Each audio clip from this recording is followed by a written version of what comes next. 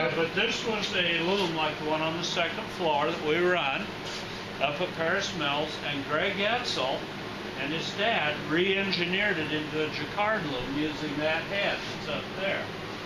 And my hope, the reason it's sitting here is my hope was someday we might be able to actually set it up and, and have it in running condition here. All the parts are here. Hmm. But they altered a regular loom. There's there's a whole thing full of holes here that hold every warp thread up and down individually. Kind of like a computer uh, punch card, right?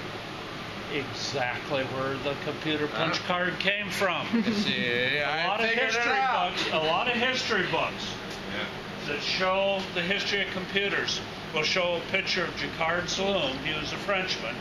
Right. And the fact that it used punch cards, and here's the secret the fact that only by changing the punch cards you can totally change what the loom wove without changing the warp or the weft.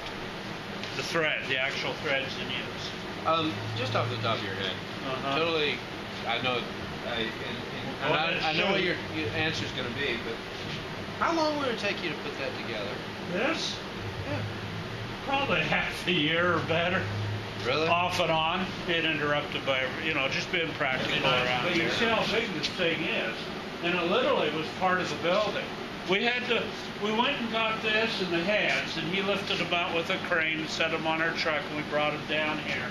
But what we had to wait on was the frame. Four years later, we got the frame when they tore the building down. She called us and said, well, I let them have everything but that frame you wanted, and there it was sitting on a cement slab, nothing around it.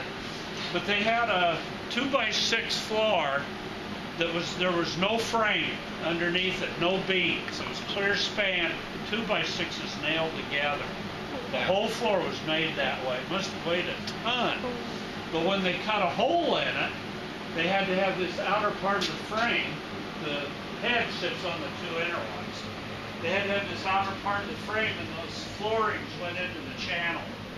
And so this held up half the floor and went into their building.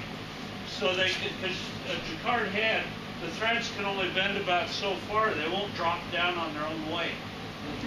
And so you had to have long threads clear out here, had to put us go in and form a square pattern and where they went up into the head. And I don't know if they're in hanging.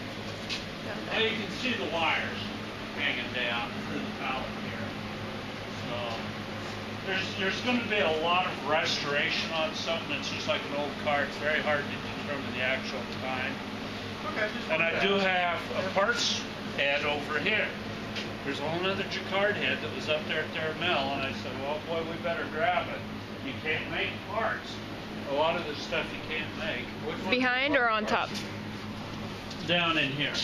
Are you kidding? Those things weighed a ton. I had to, we had to run a forklift to stick that one up there and turn this. This thing came down here upside down. They turned it over for us, which is handy because it skidded very well on the top. And uh, but we had to get it turned over in here, and I had to move all this stuff out, move all this stuff back in because I wanted it up front here.